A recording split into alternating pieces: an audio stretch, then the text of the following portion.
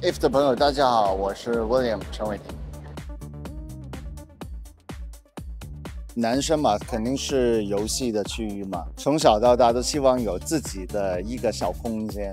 十个有九个都是说用来打游戏。八十年代就有的那一种有摇杆，就在这里控制的一个键盘，就这样打的那种游戏嘛。我是从那个年代过来的嘛，经常去游戏厅去打这种游戏了。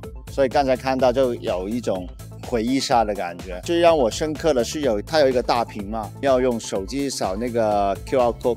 然后就两个手机可以一起玩，他在吃那些 Cold Crush，就是如果两个心形碰撞在一起的话，Cold Crush 就会掉落更多，你就会赢了赢了更多，我觉得挺有创意的。对，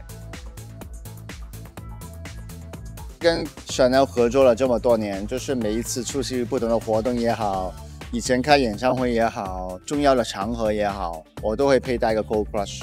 因为这个菱格纹是代表着它的整个设计的灵感，而你永远过觉得它过时，很多单品都会体现，比如说它的二点五五包，然后每一次我带出来，你无论是男生或者是你身边的异性，他们都会说哦，哇哦，Cold Crush。我觉得神奇的地方是，你带一个金色，我会永远是加一个银色，有时候会加更多的，你不会觉得 too much，你不会觉得 over。男生女生都会很喜欢的一个 accessory，呃，我觉得非常成功。我觉得我自己做每一件事情都是天赋型的选手，我觉得这很聪明。我觉得自己很有天分，我觉得上天对我很好，做什么事情我都会特别棒。然而，我觉得这只是个开始，真正你进入了你要干那一项专门的东西的时候。无论你觉得自己是多天才，你不努力，你还是比其他人慢，你还是会掉下去的。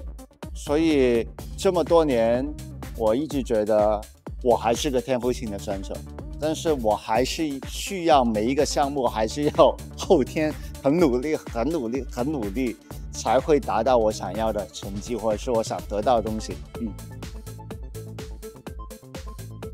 红蝉吧，红蝉，我可以这样说他吗？我是关注的就是跳水，我就看看他会有几个项目，然后我希望他可以继续拿到好成绩，但是也不要有压力，但他已经很棒了。